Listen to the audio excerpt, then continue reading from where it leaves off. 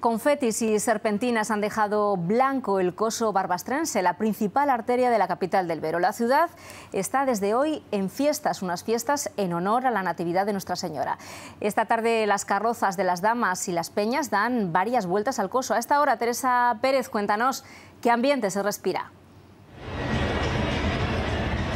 En estos momentos este coso de Barbastro se está ganando a pulso su sobrenombre de blanco. Es que desde hace unos minutos los vecinos de Barbastro viven una auténtica batalla. Eso sí, como ven, la munición no es otra que confeti blanco y ni nosotros mismos nos libramos en esta batalla. Kilos y kilos de confeti que los vecinos de Barbastro, los peñistas y sobre todo los más pequeños se lanzan entre sí y a las carrozas donde van las damas de las fiestas. Hoy han, hoy han comenzado las fiestas de Barbastro pero por delante todavía quedan cinco intensos días de actividad cultural, musical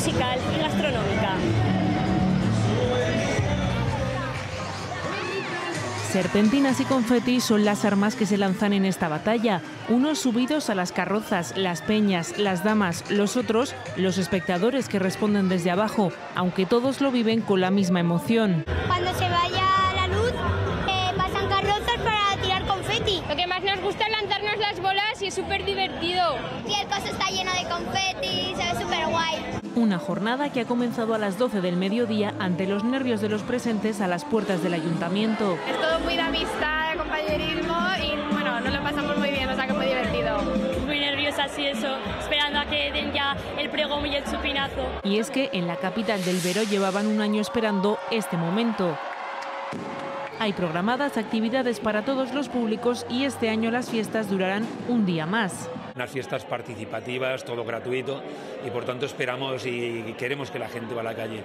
Hay una programación para todas las edades. Ahora por delante quedan seis jornadas para vestir de azul y blanco y disfrutar de las fiestas.